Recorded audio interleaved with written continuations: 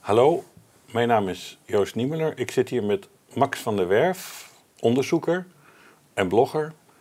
En het onderwerp is MH17, wat nu opeens weer een interessante actuele draai heeft gekregen.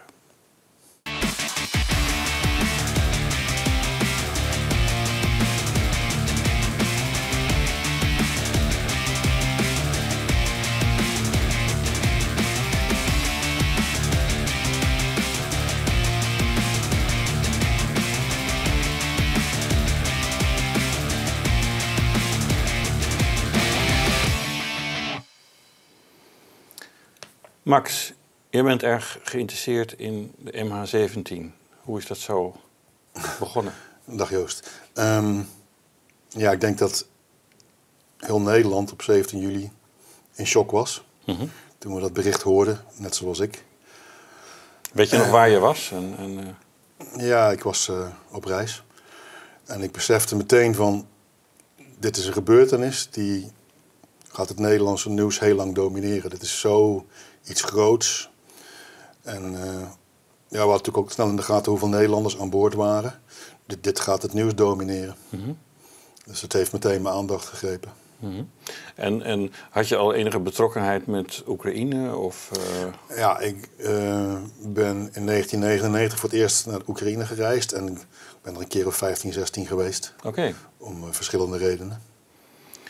als privépersoon? Of, Ja, als privépersoon. En, en wat interesseerde je aan, aan Oekraïne? Wat is, Eh, nou, de aanleiding was eigenlijk de oorlog in Jugosla- voormalig Joegoslavië. Dat de NAVO daar gebombardeerd heeft in 1999. En ja, ik, ik heb daar zo mijn eigen analyses over. Ik volg eigenlijk vanaf mijn jeugd al geopolitiek. Mhm. En mijn gedachte was, dit, dit is in feite een voortzetting van de Koude Oorlog. Mhm.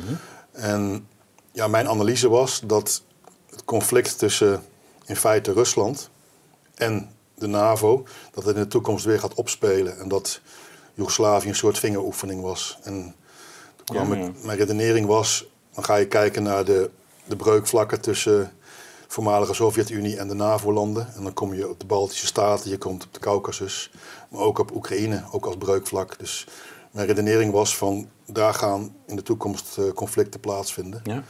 En Oekraïne, ja, relatief 2,5 uur vliegen. Je bent er zo. Mhm, Dus ik denk, ik ga daar kijken. Het was nog in de tijd dat je visa moest aanvragen. Dat hoeft niet meer.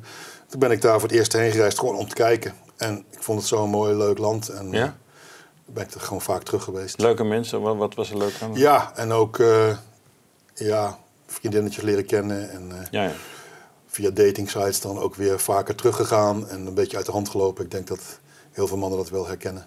Alleen dat was niet, dat was zeg maar een uitvloeisel, maar niet de aanleiding om Nee. daar voor het eerst heen te gaan. Maar je bent ook een beetje de taal gaan spreken? Of, eh, Eh, geen Oekraïens. Nee. En ik heb wel een cursus Russisch gedaan, zelf met boekjes en zo. ja.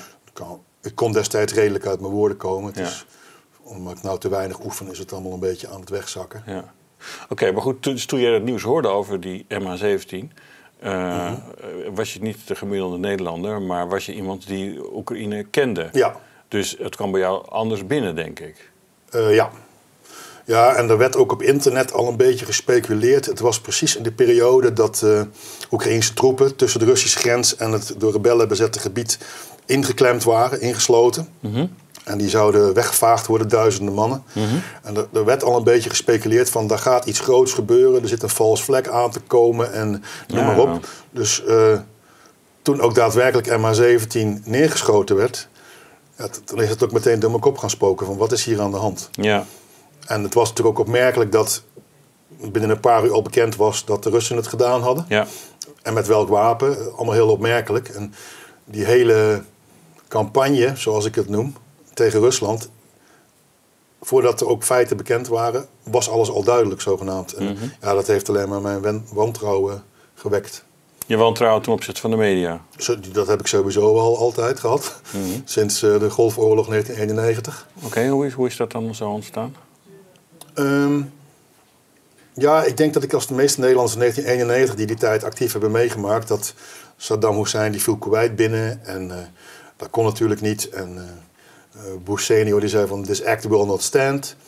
En toen kwam er op een gegeven moment, het hing er een beetje om van gaat het congres nou wel of geen toestemming geven voor die oorlog. toen kwam er een verpleegster uit Kuwait op tv. Ja. En eh, die begon heel erg te huilen van die Iraakse soldaten. Die zijn het ziekenhuis binnengestormd. En die couveuse baby's zo op de grond gegooid. En de couveuses mee naar Irak genomen. En huilie huilie. ja. En toen dacht ik van... Wauw, dit is zo misdadig. Dat, Ja. dat regime... Dat Je was onder de indruk van het ja, verhaal. er, Moet, er moet- er moet nou iets gebeuren. Dat was echt een druppel. Mhm. En toen bleek achteraf dat het een vooropgezet eh, PR-stunt was van een Amerikaans reclamebedrijf, PR-firma Nolan Hilton. Mhm. dat die verpleegster helemaal geen verpleegster was, maar een actrice en tegelijkertijd de dochter van de Ja. Kuwaitse ambassadeur. Ja. En dat is een heel klein stukje ergens in de krant geweest. En dat, ja, dat heeft mij zo gechoqueerd. Ja. Toen dacht Ik ik, dacht, ik, ik ik- geloof niks meer. Ik geloof nooit meer iets. Ja, ja, ja. Dat soms, is, soms lastig, ja, maar eh, ja, dat vond ik zo chockerend. En ook, ik denk dat de overgrote meerderheid van de mensen dat vandaag de dag nog steeds niet weet. nee.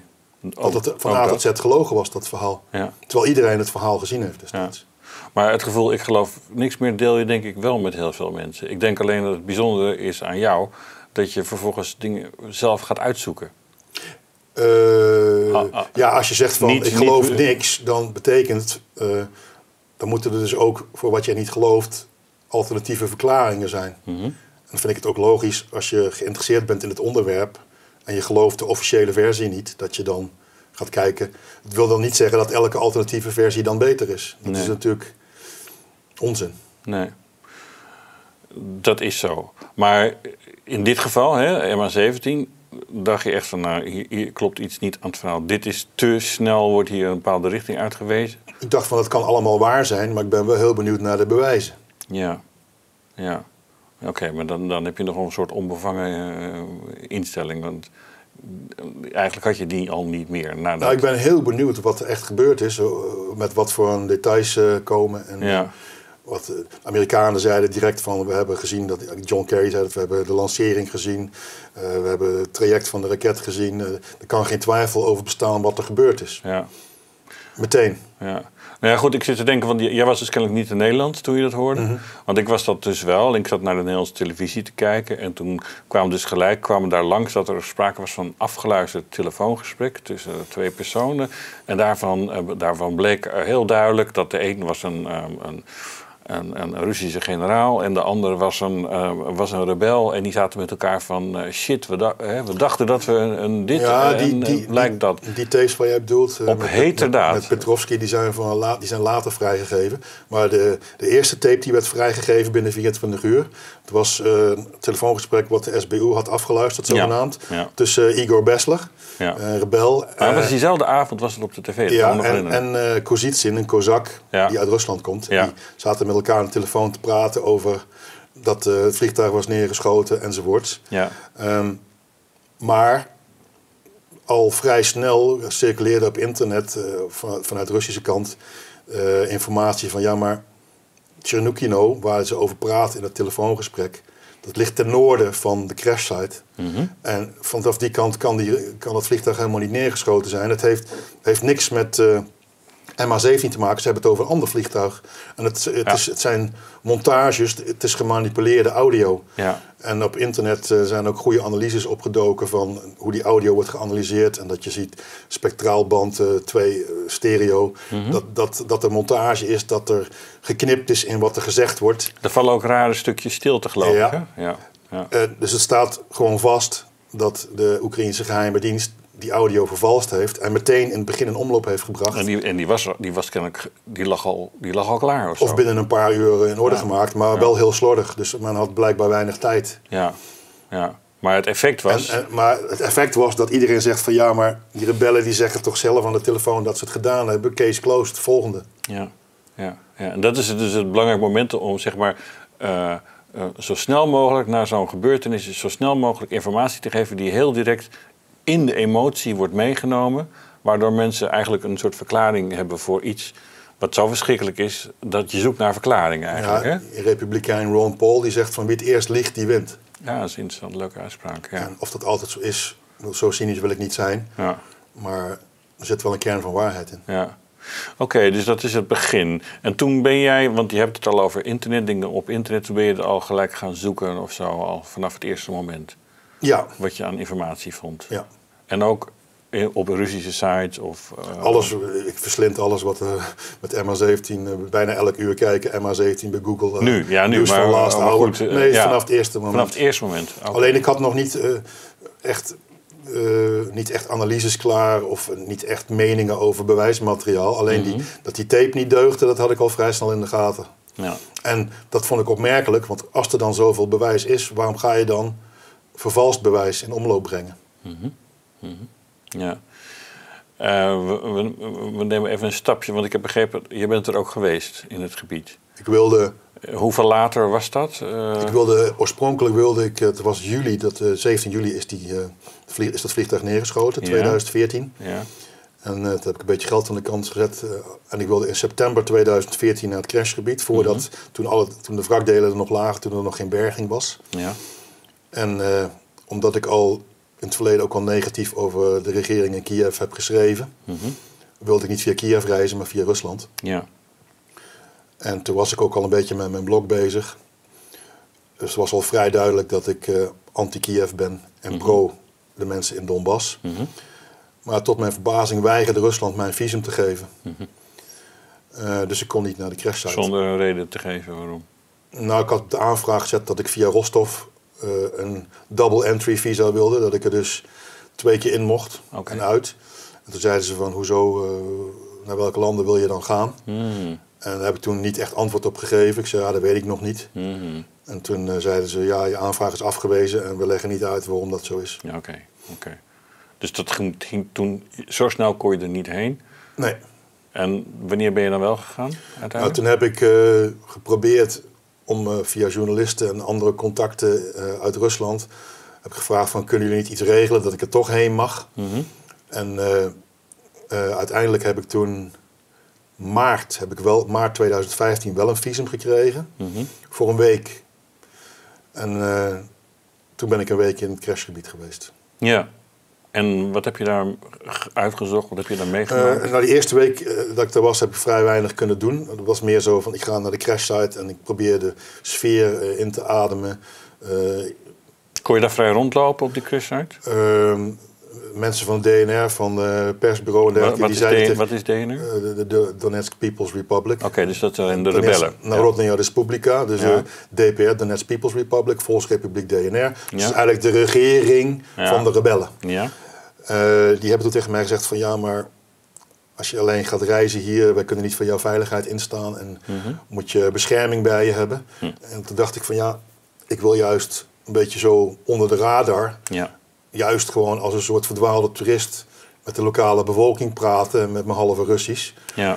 Eh, en dat is niet erg bevorderlijk als je dan eh, drie gasten met Kalashnikovs met een blauw zwaard op een jeep bij je hebt. Nee. Le- dat leek me geen goed idee. Nee. Eh, en waarom onnodig de aandacht op je vestigen? Dus ik had zoiets van, ja, we zien het wel gebeuren. Dus toen ben ik vanuit Donetsk, ben ik met, eh, gewoon met de bus, Ja. de Marsrutka, die kleine minibusjes die ze daar gebruiken, ben ik gewoon naar Torres gegaan. Ja, ja. En ik had daar van iemand uit Moskou, die had een familielid daar wonen in Torres. Dus vlak bij de crashsite. Ah, oké. En dan mocht ik in een appartement bij hun gewoon logeren. Mhm. En dus heb ik, ik heb de eerste week meer, eh, En toen werd je niet in de gaten gehouden of gevolgd? Of, Niet dat ik weet. Nee. Niet dat ik weet. Dus je kon gewoon... En waren mensen bang om met jou te praten? Nee, Oké. nee helemaal niet. Oké. Want dat hoor je vaak, hè? Mensen bang zijn om iets te zeggen. Dat ze bang zijn Nou, er, zijn wel mensen, er zijn wel mensen die eh, niet willen praten over politiek. Nee, oké. Dat heb ik genoeg gehad. Ja. Die zeggen van nou, daar heb ik niks mee te maken. Ja. En- daar, hing, daar hing destijds wel een beetje de sfeer van, eh, daar heb ik niks mee te winnen om mijzelf eh, bloot te geven. Precies. Ja. ja. Maar goed, die eerste keer heb je dus eigenlijk... Heb je toen, heb je toen belangrijke bevindingen gedaan? Of, of, of ben je wijzer geworden? Nou, ik, ik heb eh, meer algemene indrukken opgedaan. Ik ben de tweede keer teruggegaan, oktober. Toen heb ik, heb ik gebruik gemaakt van alle indrukken die ik heb opgedaan. Plus meer, een half jaar meer eh, dat gegevens bekend waren. Ja. Toen ben ik ook echt voor drie weken gegaan om alle locaties te bezoeken. Die inmiddels op social media waren aangegeven als belangrijke punten. Ja, ja. Voor de bewijsconstructie van wat er gebeurd zou zijn. Mhm, mhm. Noem eens een voorbeeld daarvan. Nou, bijvoorbeeld eh, een video die opgenomen is waar, dat de buk langs reed in Zores. Mhm. Eh, tankstation in Torres, waar de bug gefotografeerd is toen die langs reed op een trailer. Eh, opname die gemaakt vanuit het flatgebouw, waarbij net een stukje van de bug te zien is.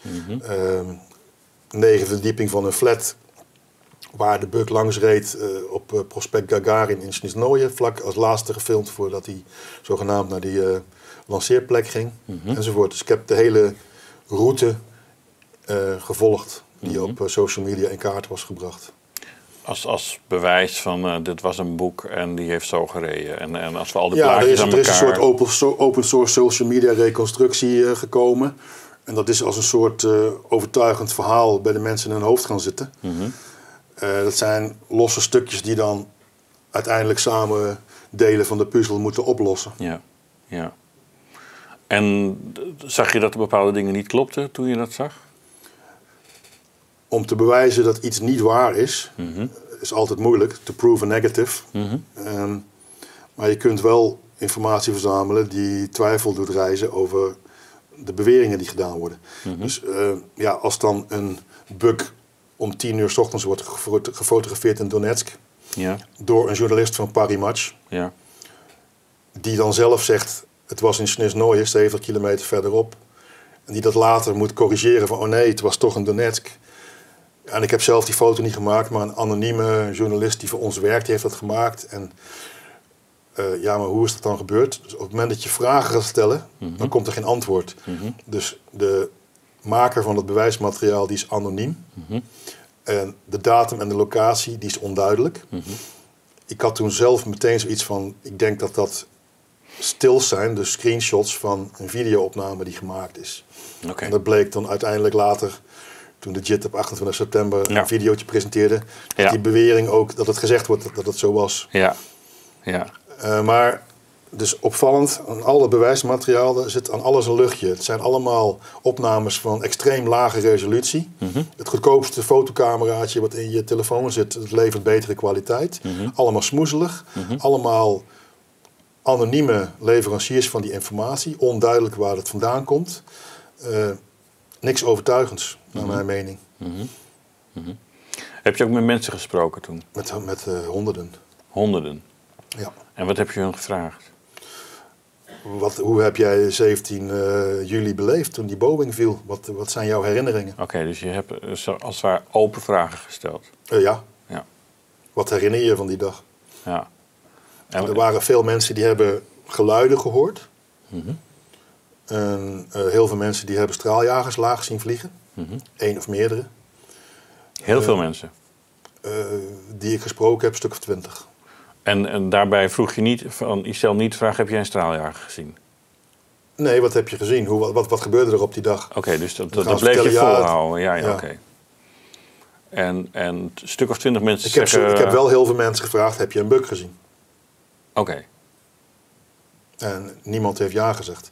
Maar goed, dat is natuurlijk geen bewijs. Dat is weer het omgekeerde. Daaruit kun je niet concluderen dat nee, maar er zonder, zonder dat je daarna vroeg... hebben twintig mensen van de honderden of zo... Ja. die je gesproken hebben gezegd... we hebben vliegtuigen gezien. Ja.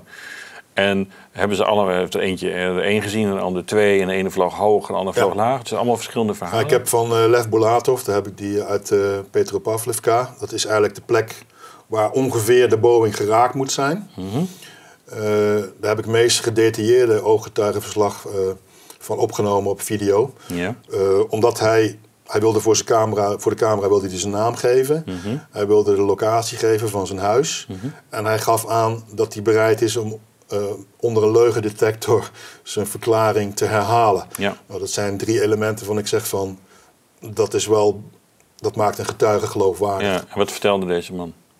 Deze man die vertelde dat hij met eigen ogen heeft gezien dat, eh, dat er drie straaljagers waren, waarvan er eentje, ja, hij zegt extreem laag vloog. Hij heeft het nummer niet genoteerd, maar hij heeft met zijn monoculair heeft hij gekeken. Hij zei van ik had het nummer van de staart kunnen lezen. Het vliegtuig, straaljager, die vloog heel laag. Die kwam vandaar, vloog daar naartoe. Ja. En in één keer vloog hij zo omhoog. Ja, En toen hoorde ik babam, bam, drie klappen.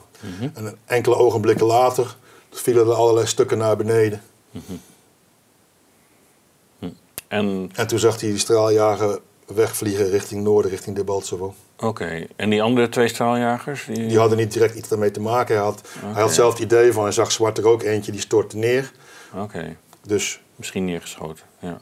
ja, er is nooit een eh, gevechtsvliegtuig dat op die dag neergeschoten zou zijn gevonden. Mhm. Dus ik denk dat dat een verkeerde waarneming is. Mhm. Ehm, maar de getuige, of, of het waar is wat hij zegt, weet ik niet. Mhm. Maar ik werd meteen op internet geframed van... eh, oh, die eh, MH17 eh Poetinist en eh, nuttige idioot... Ja. Die, gaat het, eh, die gaat het verhaal van die straaljagers gaat die verkopen. En Ja. als, alsof ik beweer dat dat vliegtuig door een straaljager is neergeschoten... heb ik nooit beweerd. Mhm. Maar dat wordt je dan meteen aangekaart... terwijl ik alleen die verklaring van die getuigen heb opgenomen. Maar goed, twintig mensen hebben tegen jou verteld, zonder dat je er specifiek naar vroeg, dat, Kunnen er ook 15 zijn hoor. Oké. Dat weet ik niet meer.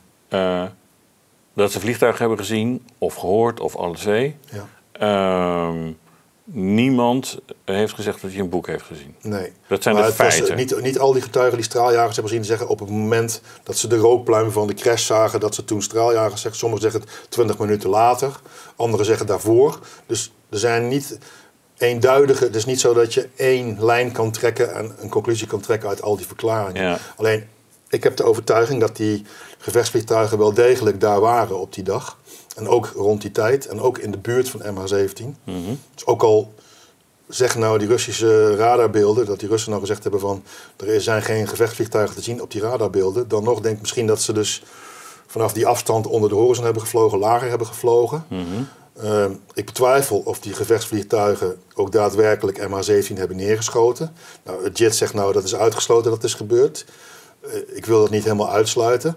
Maar het zou wel kunnen dat ze op een andere manier met het neerhalen te maken hebben. Dat bijvoorbeeld rebellen met een, eh, een stuk luchtafweer geprobeerd hebben een straaljager neer te halen. Mhm. Dat ze op de verkeerde gemikt hebben. En dat ze dus... eh, Wat is de reden om zo laag te vliegen? nou, die, die, die Sukhois, dat zijn in feite ground attack, grondaanvaltoestellen. Eh, net zoals de Amerikaanse Warthog.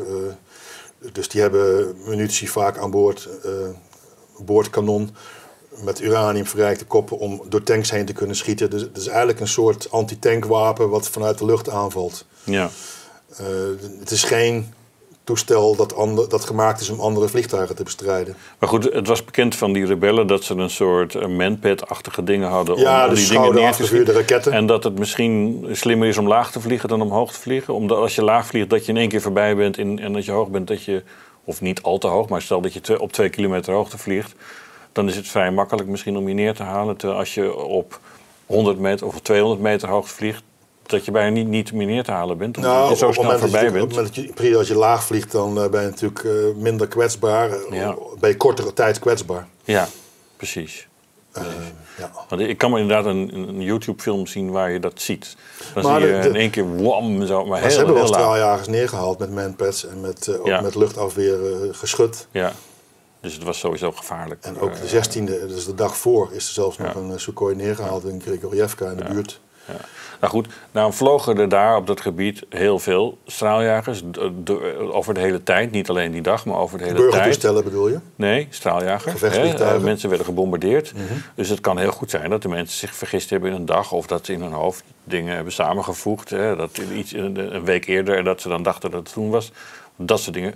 eh, herinneringen zijn ongelooflijk onbetrouwbaar. Getuigenverklaringen zijn, moet je altijd met een hele dikke korrel zout nemen. Mhm. Eh, ik, ik weet dat van mijn Indonesië-onderzoeken. Daar heb ik mensen geïnterviewd eh, van hun herinneringen van 60, 70 jaar geleden. Ja. En dezelfde mensen drie keer geïnterviewd vertellen drie keer een ander verhaal. Ja. Dus eh, ga jezelf na. Wat deed jij precies op 17 juli? Ja. Wat heb je toen gezien?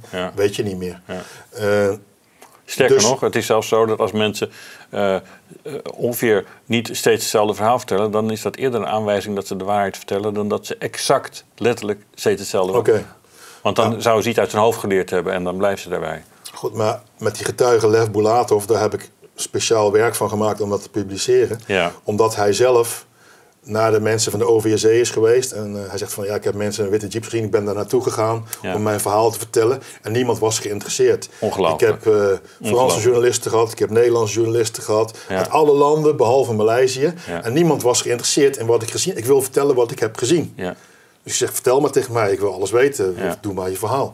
En ik geef geen oordeel of dat wel of niet waar is wat hij zegt. Maar hij, hij was zo overtuigd, hij wilde het zo graag vertellen. Mhm. Hij zei, jij bent de eerste buitenlander die naar mij luistert. Ja. Ja. Dat, dat vond ik wel schokkend. Ja. ja. Heb je ook eh, dingen gevonden daar? Ik heb dingen gevonden, dingen gezien, maar verder niks aangeraakt. Mhm. Maar hij heeft mij bijvoorbeeld twee voorwerpen gegeven. Een mes en een, een eh, souvenirtje in Van Dels Blauw. Mhm.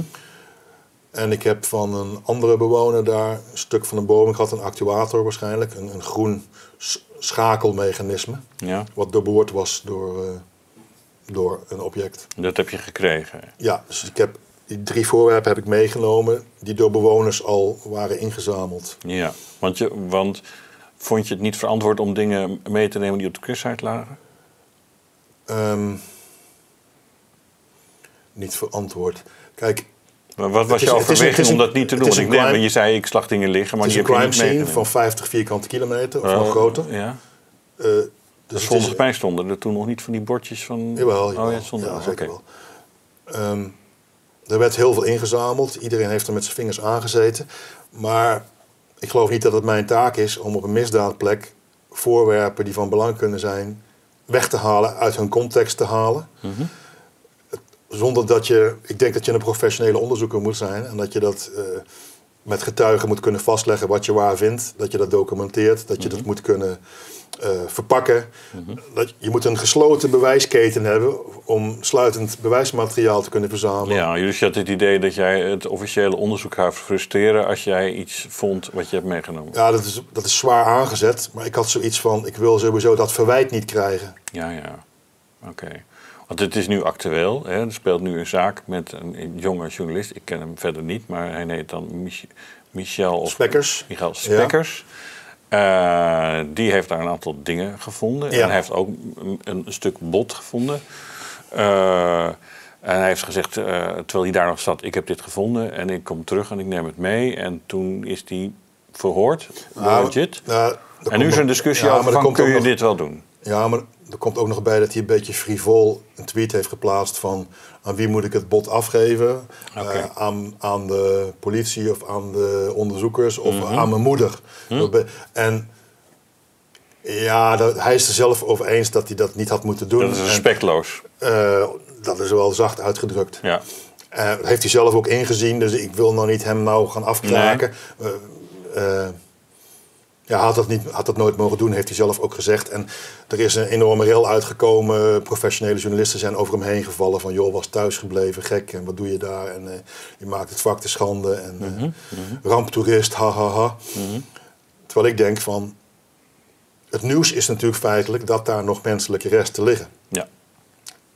zelfs voor het oprapen, blijkbaar. Ja, hij had ze in een loods gevonden. En die loods, lag geen eh, materiaal meer in dat belangrijk was voor het strafrechtelijke onderzoek.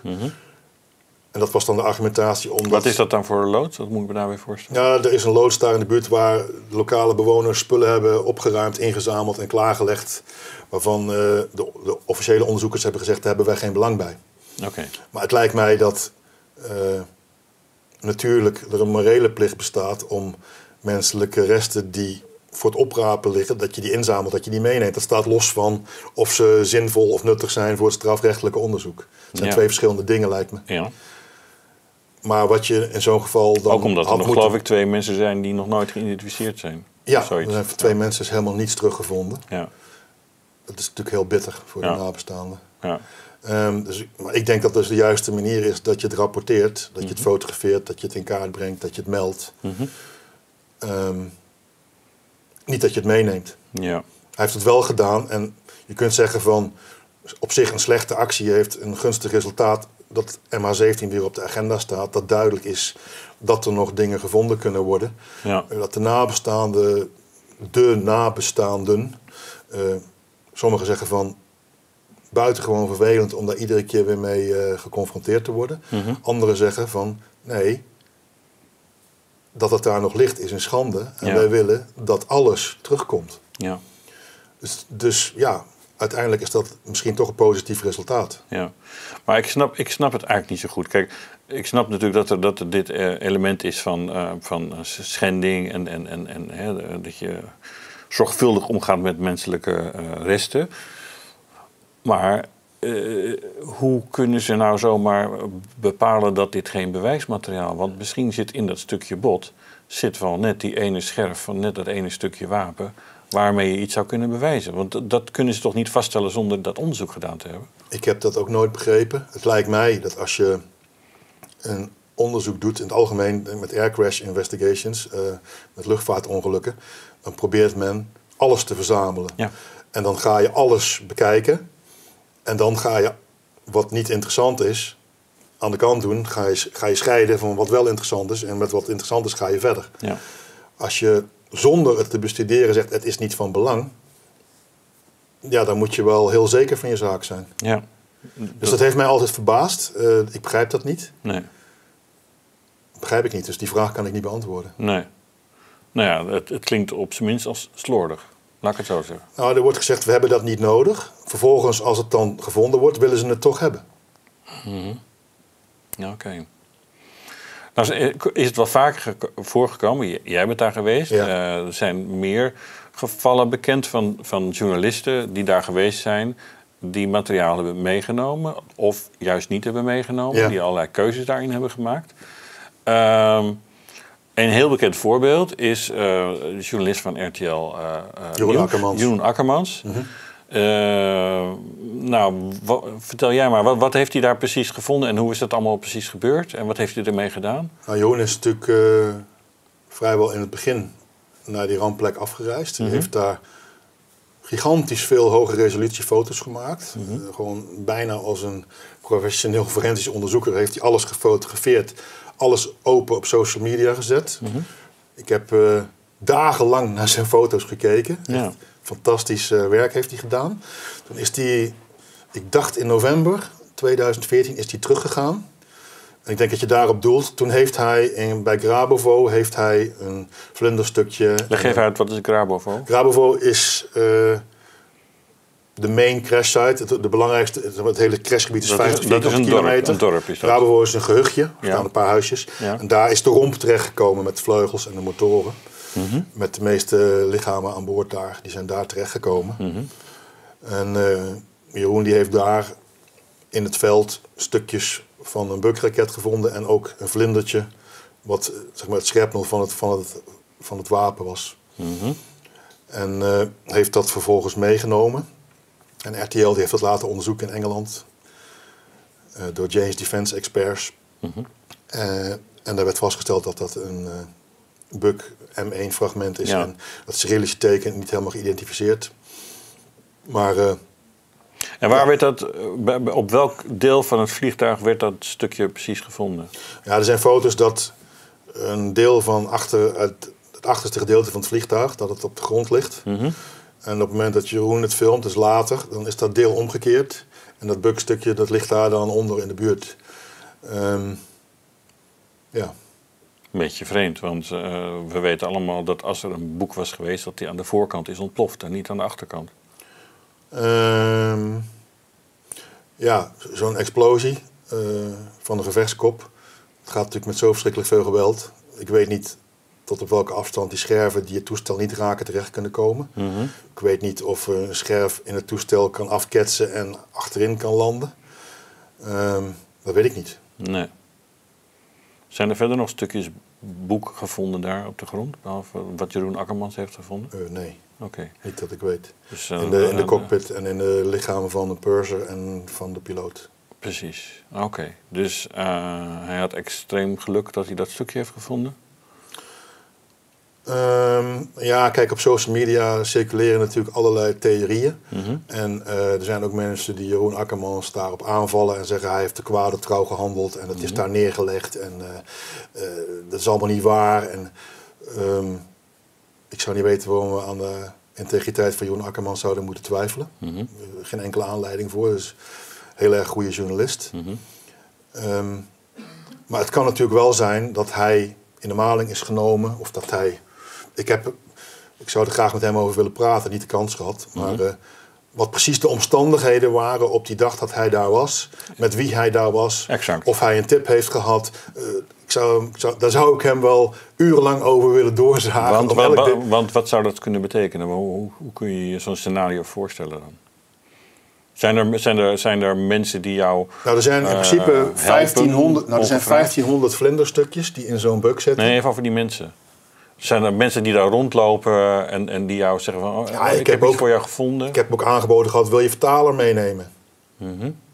Ja, hallo. Ik bedoel, het is dan misschien geen Noord-Korea, maar je moet ervan uitgaan dat iedereen, eh, zelfaanbieders noemen ze dat. Ja? Ik kies zelf met mensen uit waar ik mee werk, maar de zelfaanbieders die kunnen een dubbele agenda hebben of Ja. die kunnen in opdracht van iemand anders werken. Ik bedoel, zo naïef is geen enkele journalist, omdat ook de taxichauffeur waar je toevallig instapt, omdat hij dan Ja. bij je hotel komt aanrijden, eh, daar ben je alert op. Ja, precies. Maar je weet niet of je gemanipuleerd wordt. Nee, nee. Nou goed, ik ga weer even terug van... Hè, we hebben dus in dat geval van die spekkers, die jongen... die dus nu al, alles over zich heen krijgt. Van Ja. verschrikkelijk dat je dit hebt meegenomen. En Ja. hij heeft, dat geef je aan, duidelijk fouten gemaakt. Bij Jeroen Akkermans... ehm, die heeft dus een stukje bewijs meegenomen. Ja. Die heeft dat maandenlang heeft hij dat laten onderzoeken op zijn eigen manier. En heeft het daarna pas aangeboden aan de eh, officiële onderzoekers. Ja.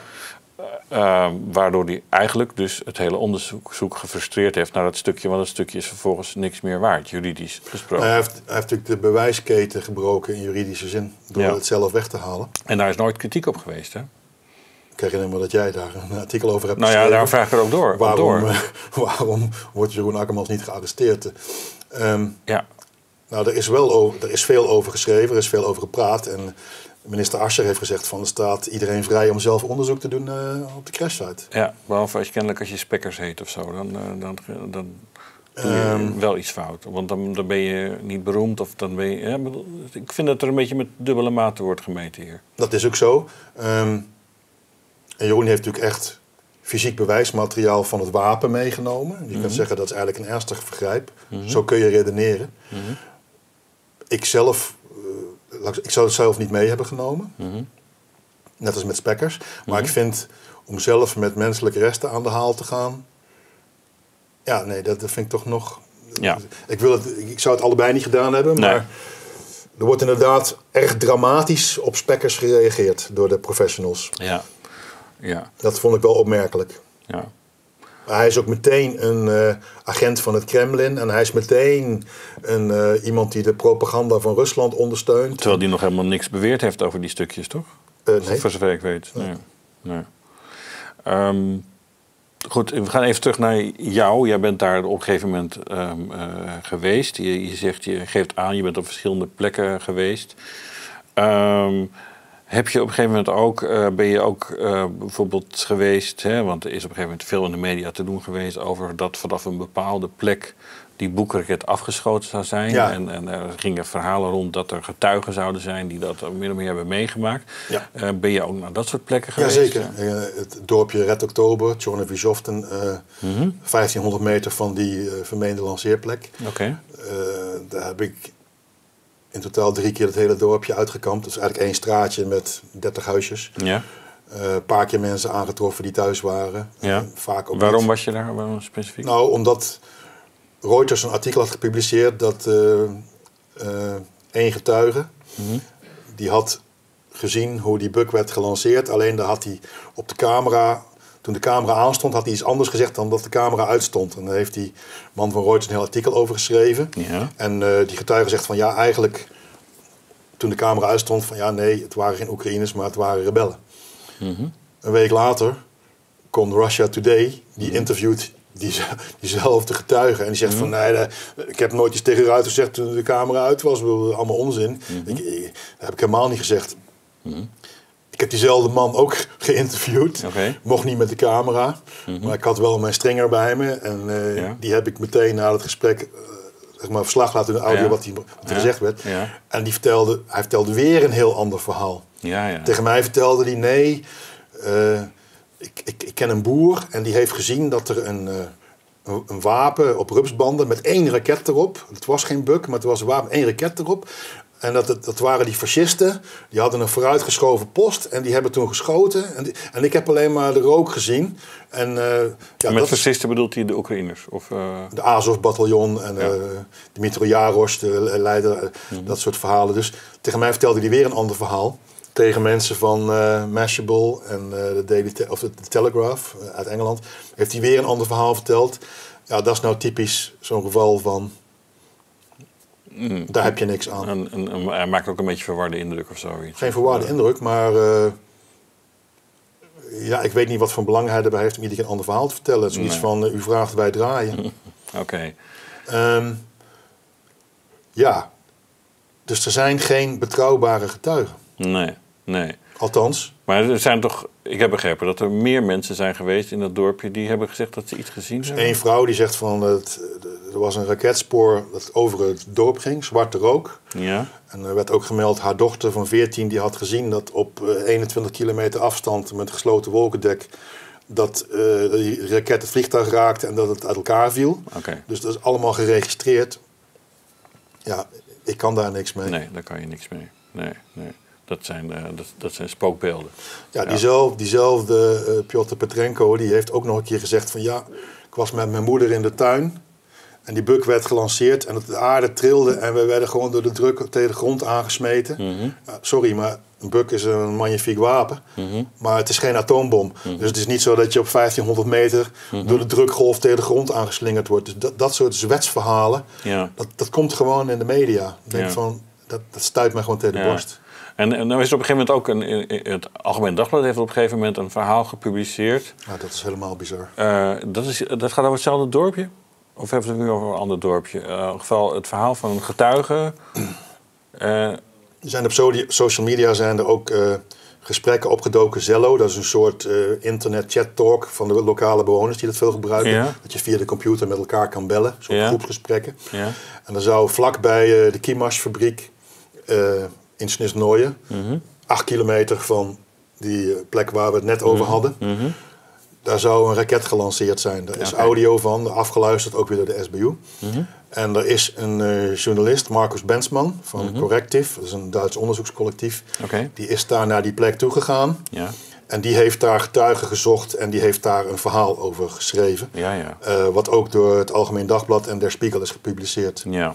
Dus dat is een. eh, En wat wordt daarin verteld? die, twee, die twee lanceerplaatsen die liggen acht kilometer uit elkaar. Ja, oké. Ehm, nou, vond ik al heel opmerkelijk dat je dus westerse media hebt. De een die schrijft, zoals RTL, die zegt van dat is die plek. Er zijn foto's gemaakt, dit en dat, eh, onderzoek. Dat Algemeen Dagblad, Der Spiegel, eh Corrective, dat die een artikel publiceren. Nee, sluitend bewijs, acht kilometer daar vandaan, van die plek, deze plek, dit is de echte plek. Er is eh, een buk vanuit de container afgevuurd door eh, Russen. En ja, die, er zijn getuigen, maar die zijn allemaal zo bang. Die moeten natuurlijk anoniem blijven, want die worden meteen vermoord. En dat is vreemd. Die getuigen die in het openbaar hebben getuigd, die ik ook heb gesproken, die leven allemaal nog. Gaat prima met die mensen. Maar goed, eh, Marcus Bensman die heeft alleen maar bange getuigen geïnterviewd. Ja. Ehm, hij heeft vervolgens ook zijn kroongetuigen geanonimiseerd en eh, de audio na laten spelen door acteurs Oké. voor de anonimiteit. En die man die heeft eh, gezien dat de raket eh, over het dorp eh, heen vloog, de rookpluim. En in de verte heeft hij het toestel neer zien komen. De man heeft allemaal, en die beschrijft wat hij allemaal gezien heeft. Je hoort zijn stem niet, eh, je ziet zijn gezicht niet. Eh, dus een totaal afwijkend verhaal weer. En, Conflicterend scenario. en, en wat heb je toen gedaan? Ben je dat gaan checken? Of gaan, Nou, ik vond dat een zeer bedenkelijk verhaal van begin af aan, omdat het afwijkt van het dominerende verhaal van de lanceerplek. Dus waarom komt iemand met een andere lanceerplek? Dan moet je toch goede argumenten hebben. Ehm, en vervolgens dat het hele verhaal op anonieme getuigen is gebaseerd. Dat vond ik bizar. En ook het verhaal dat eh, een buk vanuit een container wordt afgevuurd. waarom, waarom? Vanuit een container? Dat, eh, ja, een buk die is drie, ruim drie meter breed, dat, dat kan niet eens. Nee. Eh, zeker niet. Eh, dat is gewoon niet gebeurd. Punt. Nee. nee. Dus die getuige die dat dan zegt, die liegt. Ja. Dat hij dat gezien heeft. Of de journalist die zegt dat hij die getuige heeft gesproken, liegt. Ja. En toen? Nou, Correctief die heeft een prijs gekregen, een Grimme Award in Duitsland. Dat is een journalistieke prijs Ja. voor innovatief presenteren van informatie. Mhm. En het ziet er ook heel strak uit, eh, dat verhaal, hoe dat allemaal gebeurd is. Van Mhm. De raket werd van daar afgevuurd, daar vloog die heen. En er zijn ook videofilmpjes dat Bensman in de auto zit, dat hij naar dat dorpje rijdt. Mhm. En dan zie je dat hij in een straatje komt en een poort. En dan wordt het geanonimiseerd, dan gaat het soort tekenfilm, gaat het over in tekenfilm. Oké. Alleen ik heb screen- screenshots gemaakt van die video voordat het een eh, tekenfilm werd. Mhm. En die poort, die, eh, die heb ik ter plekke teruggevonden. Mhm. En die zogenaamde anonieme getuige die alles gezien heeft. Ik heb daar op die poort geklopt. Oké. En er kwam een meneer naar buiten. En die heb ik geïnterviewd van, joh, eh, wat heb je gezien Ja. op 17 juli? En hij zegt van, eh, hoezo 17 juli? Ik zeg, nou, eh, die bukraket, die Boeing. Oh, nee, ik heb niks gezien. Hm. Hm? Oké, wat heb je gehoord dan? Nee, ik heb niks gehoord. Hm. Hoe, hoe, hoe- Misschien wanneer- op de, op de verkeerde poort geklopt? Of, Nee. Nee, dat is precies die poort. Oké. Want er zijn... Dat is controleerbaar. De, Oké. de GPS-coördinaten heb ik opgeschreven en de foto's. Ik heb zelf video gemaakt. Eh, Oké. Ik zeg, eh, wat weet je dan van die boom? Wanneer hoorde je dan voor het eerst daarvan?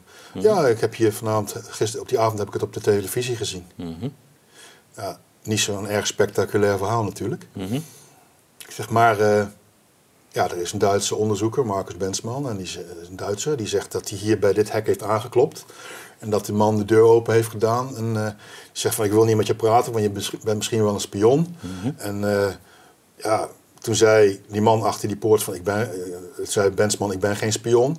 En toen begon die man het hele verhaal te vertellen wat er gebeurd was. Dat daar in het veld die buk stond en Ja. dat, hij daar, dat, de, dat de dakpannen trilden. Ja. En die man die, ja, die zat me aan te kijken zo van... Waar gaat dit over? Ik weet niet waar je het over hebt, goede man. Ja.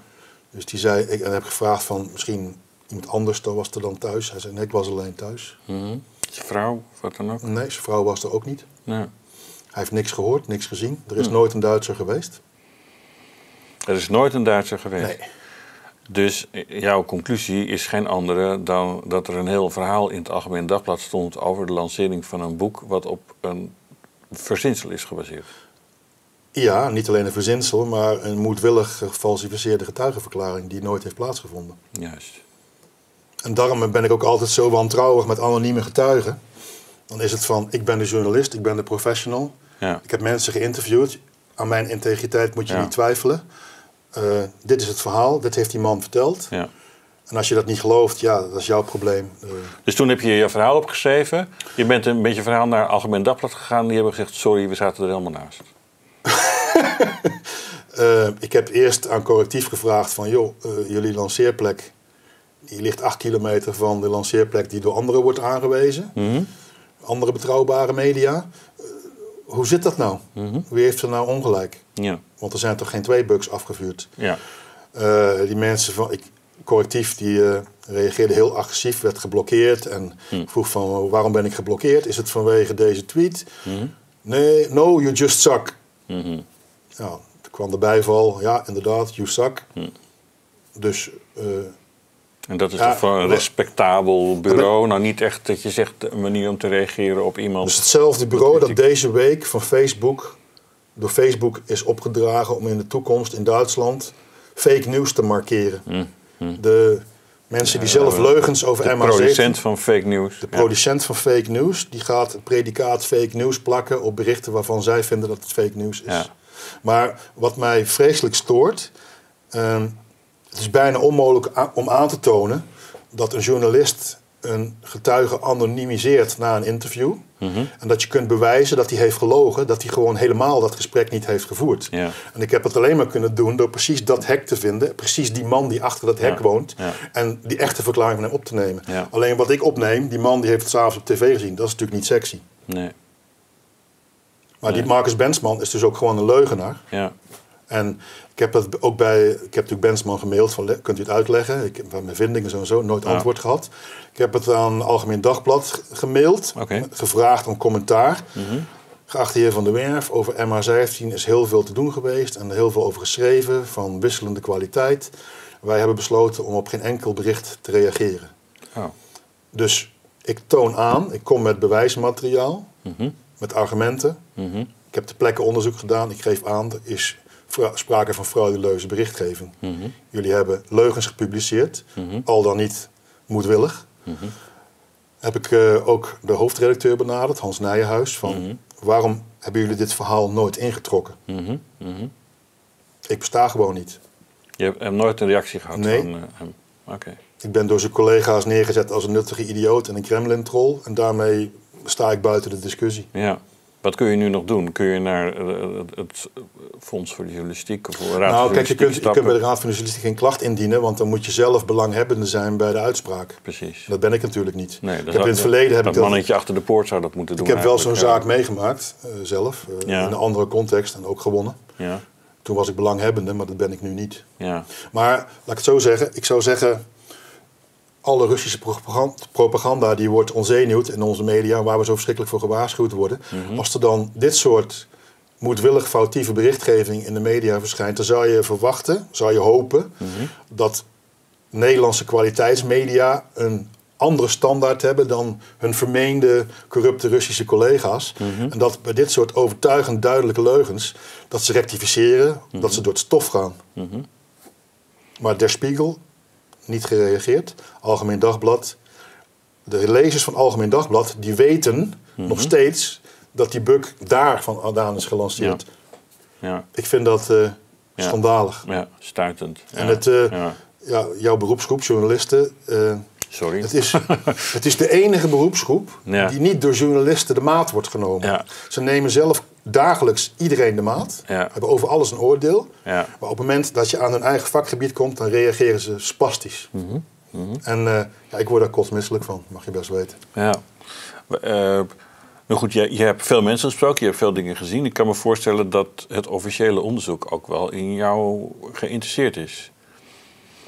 Ik heb eh, na mijn eerste bezoek in maart heb ik aan het JIT gemeld dat ik drie voorwerpen heb uit het crashgebied. Waarvan één denk ik belangrijk is, omdat er inslaggaten in zitten.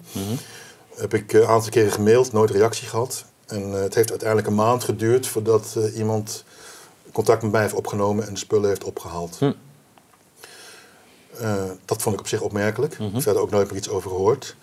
Ehm, het tweede was dat ze me wilden interviewen over wat ik zelf heb meegemaakt op het crashgebied. En of ik, of ik de data die ik heb verzameld wilde overdragen. Hetzelfde wat feitelijk eh, met Spekkers nou is gebeurd Ja. deze week. Maar daar zijn de eh, spullen, zijn spullen zijn afgepakt. Ja, alleen ik ben gewoon naar Nederland teruggekomen. Ik heb niet verder niks gemeld. Ik heb gewoon Nee. mijn data meegenomen op Ja. harde schijf. eh, en ook op twee verschillende plaatsen, ook kopieën. Ja. Voor de duidelijkheid. Ja. Ehm, en ik heb gezegd van ik wil wel met jullie praten. Mhm. Waarom niet? ja. En, en hoe verliep dat gesprek? De eerste keer was het gesprek van ongeveer een uur. Dat was tamelijk algemeen. Ja. En uiteindelijk wat ze van me wilden, dat was of ik de informatie wilde delen die, die ik eh, eh, zeg maar fysiek had verzameld op, eh, Ja. op mijn videocamera en op kaartjes en dergelijke. Ja. En meer een algemeen gesprek van wat mijn ideeën waren over het onderzoek en wat ik zelf heb ervaren. En dat was een heel prettig gesprek en dat hebben ze ook opgenomen. En ik heb zelf ook opnamen gemaakt met toestemming van ze. Ja. Dus dat heb ik vastgelegd. Mhm. En toen hebben we een vervolgafspraak gemaakt. Mhm. Toen heb ik eh, de data aan hun overgedragen. Ehm, en daar hebben we vervolgens vijf uur lang nog een keer de derde keer over gepraat. Ja. Vijf uur lang toen, toen ze hun huiswerk gedaan hadden en alle spullen hadden bekeken van mij, Ja. hebben we vijf uur lang op basis van door hun heel gericht gestelde vragen Ja. Eh, gediscussieerd. ja. Heb je eh, daarbij ook eh, gegevens overlegd van personen waarmee je gesproken hebt? Een stuk met Spekkers deze week die rel geweest van... hij wilde dus mensen die hij heeft geïnterviewd anonimiseren. Mhm. En hij wilde niet dat die ruwe data bij de Nederlandse of bij de JIT terechtkwamen. Ja. Ehm, ik heb zelf die afweging gemaakt van wat moet ik, wat moet ik nou doen. Ik heb ook een paar professionele journalisten om advies gevraagd. En die zeiden tegen mij van ja, ze kunnen je niet dwingen om je data af te staan. Mhm. Dus je kunt het weigeren. Je kunt zelf bepalen welk deel je wel wilt geven. Mhm. Je kunt de mensen waarvan jij denkt dat ze misschien angst moeten hebben voor de Oekraïnse geheime dienst, die kun je anonimiseren. Dus je hebt verschillende mogelijkheden. Waarom zou je bang moeten zijn voor de Oekraïnse geheime dienst? Ehm, Een oké. serieuze vraag. Ja, Ik nee, ik moet even een eh, stap terug dan, Ja. dat dat van zo vanzelfsprekend was. Nee, Eh, dat- de, de, de Oekraïnse geheime dienst, eh, dat is eigenlijk het allerslechtste van de oude KGB uit de Sovjet-Unie gecombineerd met de fascisten in de Tweede Wereldoorlog. Dat is eh, een verschrikkelijke geheime dienst die eh foltermethoden standaard gebruikt, die mensen doodmartelt, die eh, be- bewijsmateriaal vervalst. eh, ja, criminele organisatie. Eh, die proberen natuurlijk in een smerige oorlog de rebellen eronder te krijgen. Ja. En, Daar is alles geoorloofd. en onze, onze keurige mensenrechten respecterende Nederlandse OM werkt samen met deze club. Dat heeft mij ook verbijsterd. Ik denk niet dat dat kan. Ze hebben zelfs eh, op een website nog een promotiepagina gemaakt dat de samenwerking met de Oekraïnse onderzoekers van de geheime dienst en de Nederlandse JIT-leden, dat het vertrouwen groeit en dat het steeds beter gaat. Mhm. Het heeft mij eh, verbijsterd. Ja. ja. Eh, Maar goed, ik de- heb, eh, de optie die ik gekozen heb, Ja. Ik heb andere optie gekozen. Is dat ook, eh, even voor de record, is dat ook officieel vastgesteld dat ze martelen en mensen vermoorden of zo? staat in de VN-rapportage. Oké. En eh, een onderzoeksgroep van de VN is toegang geweigerd tot de ondervragingsruimtes van de SBU. Ja, oké. Oké. Misschien dat ze de bloed niet van de muur op tijd konden wegpoetsen, ik weet het Ja, niet. ja, Maar ja. Het is een eh, zeer bedenkelijke organisatie die ook betrokken is bij de schilderijenroof van het Westfries Museum. Leider van de SBU, voormalig hoofd van de SBU. Ja. Eh, eh, het is een club gangsters. Mhm. Ehm, dus ik wilde per se niet dat mijn data met sympathisanten van de Volksrepubliek Donetsk, de aardsvijand van de Oekraïnse geheime dienst, dat die bij, die on- dat die bij diezelfde figuren terechtkomen. Ja, Logisch ja. natuurlijk. Ja. Eh, Dus ik heb niet de opties van, maar uiteindelijk heb ik niet de opties van de journalisten opgevolgd, die raad. Mhm. Maar ik heb gezegd van mijn moreel kompas, ik wil gewoon de Nederlandse onderzoekers alles ter beschikking stellen. Mhm. Ik wil niet gaan filteren en bepalen wat voor hun wel of niet interessant is of wat ze wel of niet mogen. Ik wil alles afgeven Ja. op voorwaarde dat de Nederlandse onderzoekers het niet met een Oekraïner delen. Met geen enkele Oekraïner. Mhm. En toen? Wat zeiden ze toen? Toen dacht ik van ja, dat ik het horen kreeg van wie denk jij wel dat je bent. Je moet gewoon die data afgeven. Maar tot mijn verbazing, ik heb, ze vroegen waarom. En toen heb ik het uitgelegd vanwege dat martelen en zo. En toen hebben ze gewoon, ik heb het op audio staan, hebben ze gewoon gezegd, akkoord, dan delen wij het niet met de Oekraïnse onderzoekers. Oké. En ik heb op operationeel niveau heb ik wel vertrouwen in de Nederlandse onderzoekers. Ja. Dat dat integere mensen zijn. Oké. Oké. Dus daarmee neem je wel een risico, dat besef je natuurlijk wel. Want kijk, deze mensen kunnen al 100% te vertrouwen zijn, maar het komt op een gegeven moment ergens op een ander dossier bij andere mensen en die kennen weer andere mensen en, en vervolgens kan het wel degelijk ergens terechtkomen. Als dat gebeurt, dan zal ik mezelf dat voor altijd kwalijk nemen. Oké, maar goed, dat is dus dat risico neem je omdat jij vertrouwen hebt in de Nederlandse onderzoekers. Omdat Op je denkt, operationeel het is, niveau. het is belangrijk genoeg. Op dit- operationeel niveau, Oké. zeg ik uitdrukkelijk. Oké. Niet op politiek niveau. Nee. Wa- wa- wat is daar gebeurd? Wat is er gebeurd? Hoe is die MH17 neergehaald? Ja, eh, als mensen zeggen van eh, hoeveel tijd ben je ermee bezig? Ik zeg ruim 2000 uur. Oké, wat is er gebeurd? Ja. Dan zeg ik, eh, ik weet het niet. Een mooie onderzoeker ben jij. Had je net zo goed thuis kunnen blijven. Ehm, er zijn voor mij gewoon nog te veel open vragen. Mhm. Dus ik vind het heel moeilijk om daar een uitspraak over te doen. Mhm. Eh, maar eh, gaat jouw voorkeur uit naar een bepaald scenario? Of, of durf je dat zelfs al niet te zeggen? Nee, ik vind het extreem moeilijk. Ik denk het, het, het officiële verhaal, daar zitten zoveel gaten in. Het kan zijn dat de onderzoekers, in theorie kan het zijn dat ze perfect sluitend bewijsmateriaal hebben. Dat weet ik niet, want dat dat niet openbaar is. Maar Ja. wat er openbaar is, daar durf ik van te zeggen, daar heb ik ongeveer wel alles gezien. En daar kan ik niet de conclusie uittrekken dat het verhaal dat nu gepresenteerd is als verhaal, als eerste verhaal, wat het jet kwijt wil, dat dat klopt. En dat verhaal is dat vanuit een specifieke plek met een Boek? Een bukraket vanaf een bepaalde locatie, onder Snisnooien. MH17 is neergehaald en dat de buk afkomstig was vanuit Rusland en ook weer naar Rusland is teruggesmokkeld. Ja. En dat dit gedaan is door rebellen of Russen of whatever. Daar zijn verschillende verhalen over. Ja, op de persconferentie op 28 september, toen heeft, eh, ik dacht dat het Paulussen was, Mhm, eh, politieofficier Paulussen, mhm. dat vaststaat dat de buk waarmee MH17 is neergeschoten vanuit de Russische Federatie is aangevoerd, de grens over is gekomen en ook weer is teruggegaan. Maar tegelijkertijd dat men daaraan niet de conclusie wil verbinden dat Rusland verantwoordelijk is. Mm. En dat lijkt me een tamelijk bizarre uitspraak. Alsof je in Rostov of ergens naar Rentebuk kunt gaan en daar zo'n ding ophaalt en dan vliegtuig neerschiet en hem dan weer terugbrengt. En dat Rusland daar niets mee te maken heeft, lijkt me uitgesloten. Ja. Dus als er echt sluitend bewijs is dat die buk over de Russische grens is gegaan, dan is dat met we- medeweten op een heel hoog niveau, zo niet het allerhoogste militaire niveau gebeurd. Ja, ja. Waar, waarom deze eh, voor iedereen duidelijk idiote formulering, denk je? Ja, dat is een uitnodiging om te speculeren. Ik ga- Ik ga even speculeren. Mhm. Ik heb die persconferentie, die video, die heb ik zes keer bekeken, woord voor woord. Ik heb transcripties gemaakt. Ik heb heel goed geluisterd naar wat ze gezegd hebben. Ik heb heel goed gekeken naar welke nieuwe gegevens en dingen ze hebben laten zien die, die ik via social media al niet al had gezien. Eh, dat is te gedetailleerd om daarop in te gaan. Het wa- Het waren een paar dingetjes. Maar voor het overgrote gedeelte was het een presentatie, een samenvatting van wat op social media allemaal al gepresenteerd is. Mhm. En daarbij werden foto's van lage resolutie van internet, die werden aangevuld met videomontages en 3D-animaties. Waarbij je eh, de indruk krijgt dat er sprake is van een sluitend verhaal en sluitend bewijs. Terwijl voor mij waren het allemaal losse puntjes en gaten die aan elkaar geplakt zijn. Ja, En dat er verschrikkelijk veel eh, nog open is. ja, Dus ik denk voor de leek en voor iemand die graag het verhaal, zoals het verteld werd, wil geloven, kwam het heel geloofwaardig over. Het was een super professionele ja presentatie. de, de, pers, de westerse pers was absoluut lovend. Ja, het is nu echt het- helemaal rond, geen Ja, twijfel net, meer als over. het, net als over het verhaal van Correctief.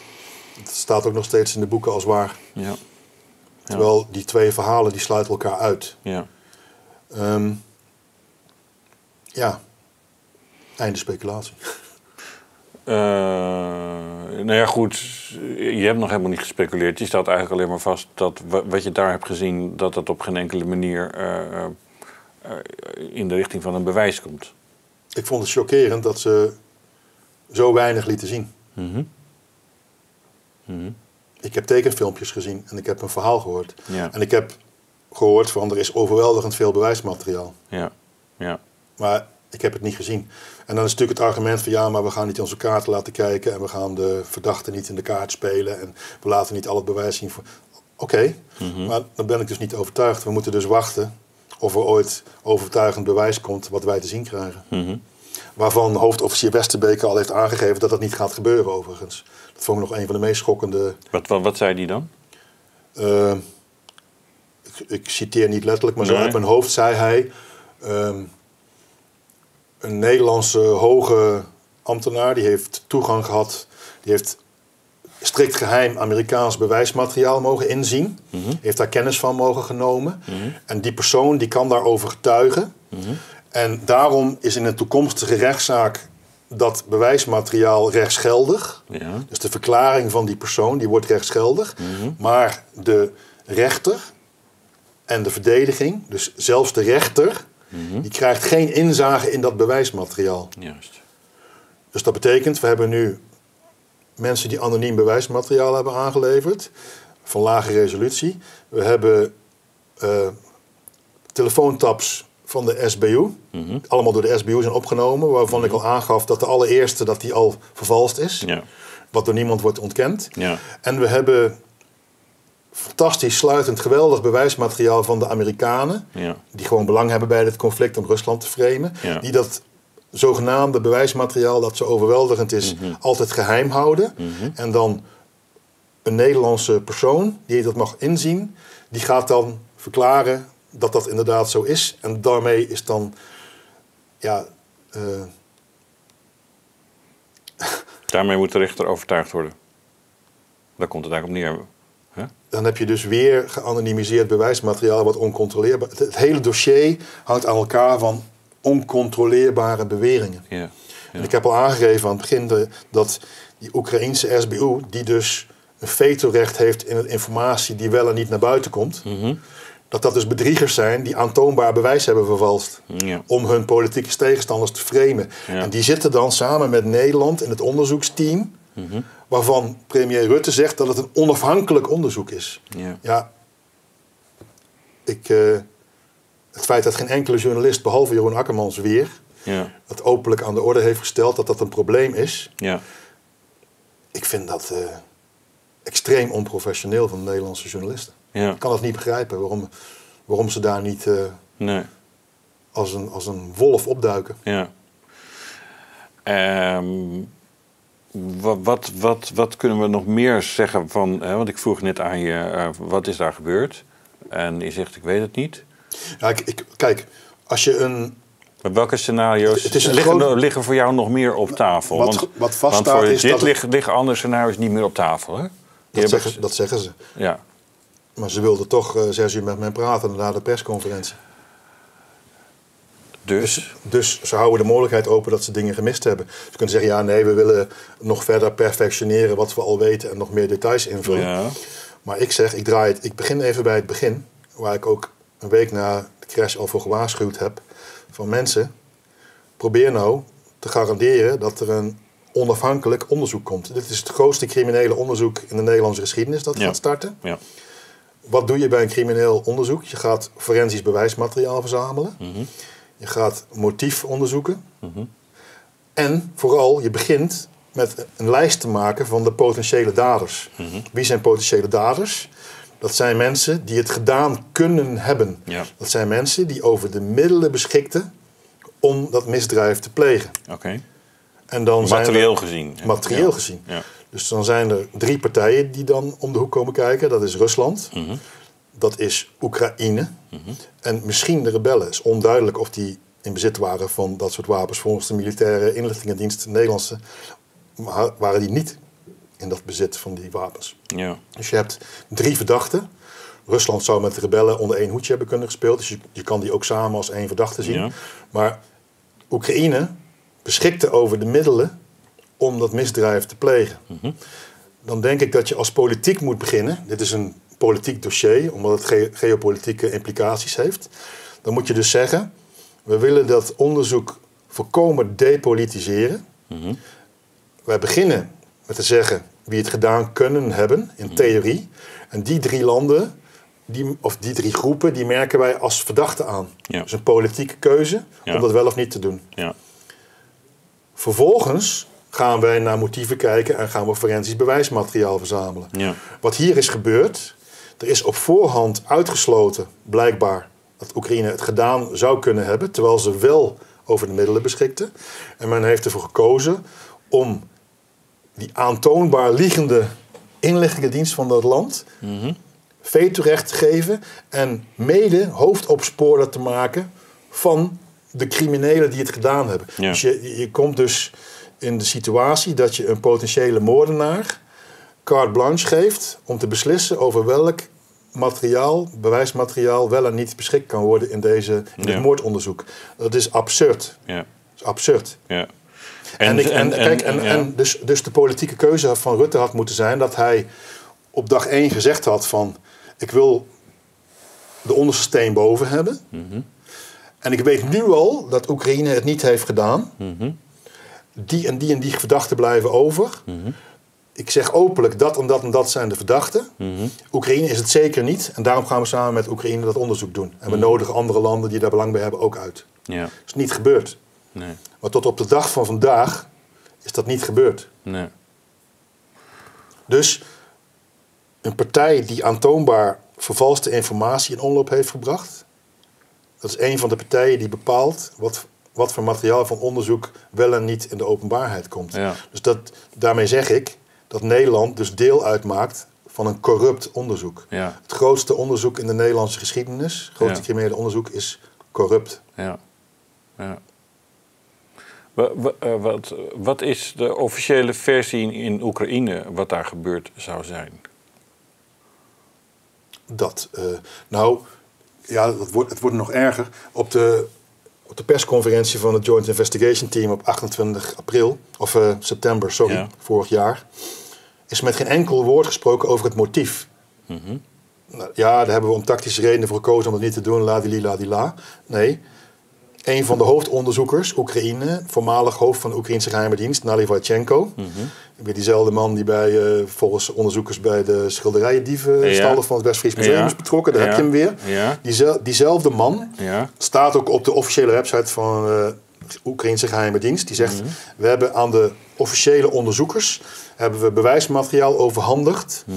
dat Russische terroristen van plan waren om bij het dorpje Pervomaisk een raket af te vuren op een Russisch verkeersvliegtuig, een Aeroflot toestel dat van Moskou naar Larnaca vloog. Mhm. Deze cynische criminele daad, het motief daarvan was, false flag heet dat op Engels, eh, dat je dus een operatie, dus die Russische terroristen, die moesten een Russisch vliegtuig neerhalen, zodat Oekraïne daar de schuld van zou krijgen en dat Rusland daardoor een excuus had om binnen te vallen in Oekraïne. ja. En de, de Oekraïnse geheime dienst, de onderzoekers van het JIT dus, En hebben ze bewijzen daarvoor? Meneer Nalivachenko is blijkbaar iemand die vertrouwd wordt door de Nederlandse onderzoekers. Op de website staat dat ze zo geweldig met, het, met zijn, eh, met zijn eh, geheime dienst samenwerken. Maar dus de bewering van Oekraïne is, we hebben dus het bewijs dat die Russische terroristen dat Aeroflot-toestel moedwillig neer wilden halen, hebben we overhandigd aan de onderzoekers. En daarmee staat ook het... Dus de Russen hebben het gedaan, een Russische buk, een Russische crew. Alleen, ze hebben helaas het verkeerde vliegtuig, voor hun dan althans, verkeerd neergeschoten. Dus het misdrijf was voor Oekraïne al in een paar En- dagen en, en- opgelost. En, eh, waarom is die fout gebeurd? Waarom hebben ze het verkeerde toestand neergeschoten? Omdat het stel idioten waren. Je hebt dorpjes Pervomaisk. Nou, er zijn er een paar honderd in de voormalige Sovjet-Unie. Wat Dat- betekent dat? Eh, 1 mei. Oké. de, ja. de eerste mei. Oké. Een dag van de arbeid. Dus Ja. er waren heel veel dorpjes die werden zo genoemd. Ja. Maar die idioten, omdat ze niet van een lokale topografie afwisten, hebben ze het verkeerde dorpje Pervomaisk gekozen en daardoor de raket verkeerd gericht en in plaats van naar het, west, naar het noorden, naar het westen geschoten. Ja, kletskoekverhaal. Mhm. Maar het is de officiële versie van een JIT-lid.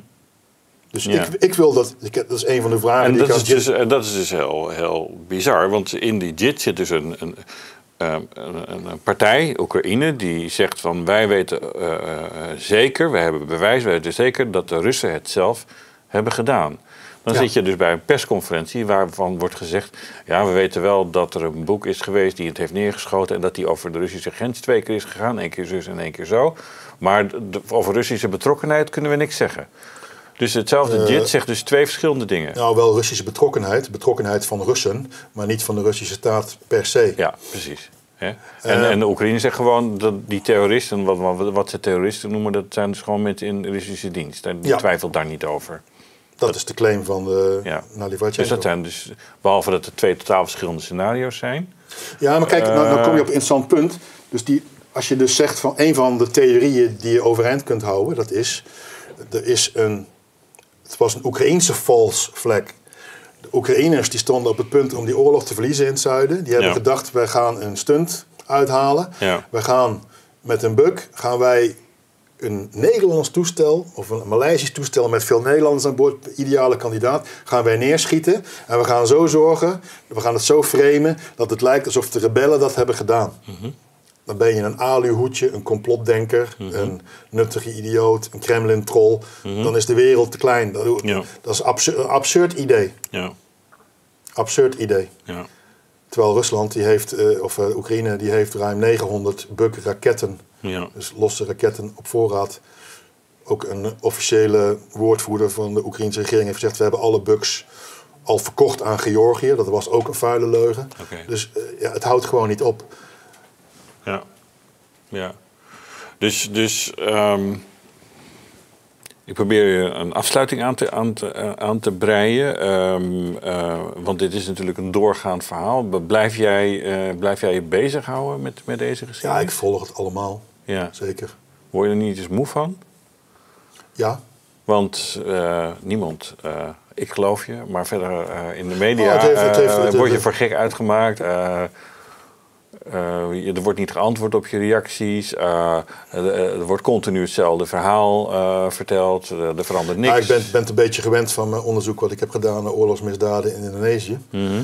Ehm, toen werd ik uitgemaakt voor nestbevuiler, landverrader. En dat, dat was ook allemaal niet zo netjes. Mhm. Maar wat mij opviel was, ik was er overtuigd van er zijn door de Nederlandse troepen stelselmatig oorlogsmisdaden gepleegd. Ik ga er onderzoek naar doen. Mhm. Terwijl 60 jaar lang eh professionele Nederlandse journalisten en onderzoekers en historici en politici en noem de hele buts maar op, 60 jaar hebben volgehouden. Er zijn een aantal excessen geweest en incidenten, maar van stelselmatige mensenrechten schendingen en oorlogsmisdrijven is geen sprake geweest. Ja, ja. Dus het blijkt eh, dat een absolute waarheid die geldt in een maatschappij zoals ook de Nederlandse, dat uiteindelijk de echte feiten heel anders zijn. Ja. Maar, ik zeg- maar heb je ik- er goede hoop op? In ik, deze ik, heb ook MH17? niet, ik zeg ook niet van met MH17 dat en dat is er gebeurd, die en die heeft het gedaan, die en die is verantwoordelijk. Nee. Ik zeg alleen, ik Maar accepteer zegt, de eh, officiële, eh, het officiële verhaal is politiek gemotiveerd. Ja. Ja. En het onderzoek is corrupt, dat is Ja. wat ik zeg. Ja. Ja. Dus het onderzoek kan corrupt zijn, maar dan kan, kunnen ze desniettemin toch nog gelijk hebben Het eigenlijk. kan zijn dat Rusland het toestel heeft neergehaald. Het kan zijn dat de rebellen het hebben neergehaald.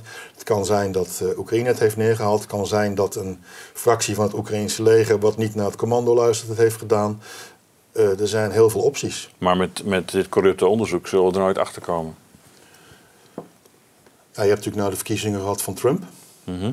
Die heeft eh, gezegd van waarschijnlijk hebben de Russen het gedaan, maar zij ontkennen het. Eh, hij heeft nog met zijn inlichtingendiensten wat rekeningen te vereffenen. Mhm. Het zou kunnen dat via dat kanaal eh, nog een keer nieuwe informatie boven tafel komt. Trump heeft ook gezegd, waarschijnlijk zullen we het nooit weten. Dat zei hij ook.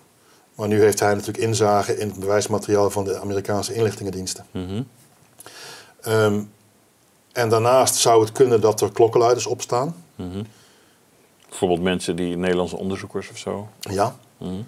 Het zou kunnen dat eh, een land dat onschuldig is, zoals Rusland, als het onschuldig is, dat die bewijsmateriaal achter de hand houden. Mhm. Maar op dit moment, zo intuïtief zeg ik, alle betrokken partijen die liegen en die verzwijgen belangrijke informatie. Mhm. Dus op een of andere manier zijn ze allemaal op een negatieve manier bij het misdrijf betrokken. Hm.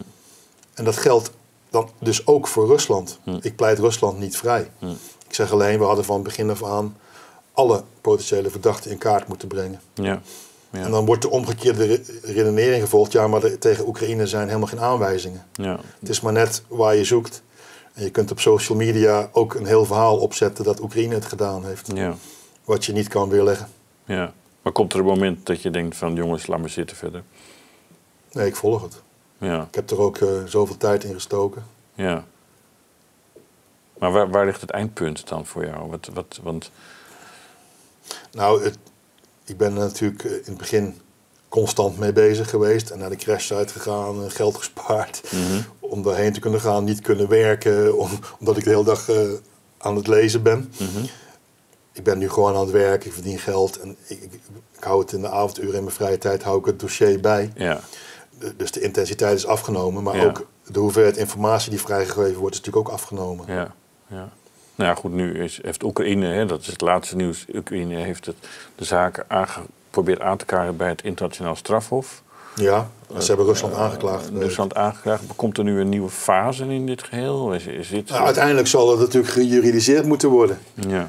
Dus ook Nederland, eh, de andere Australië, eh, Maleisië, ze zullen natuurlijk zich af moeten vragen van wat wordt de juridische format waarin we die Ja. zaak gaan aanpakken. Ja. Eh, Want dat, na al die tijd Wanneer is, is daar nog, hebben we daar nog steeds geen flauw benul nou ja, wanneer maken ze bekend dat ze concrete verdachten hebben die op de Ja. knop gedrukt hebben? Hebben ze concrete verdachten die op de knop gedrukt hebben? Ja, maar bij welke, aan welke rechter gaan ze het voorleggen? Dat is voor mij een grote ik, vraag. ik ben geen jurist, maar er zijn allerlei soorten.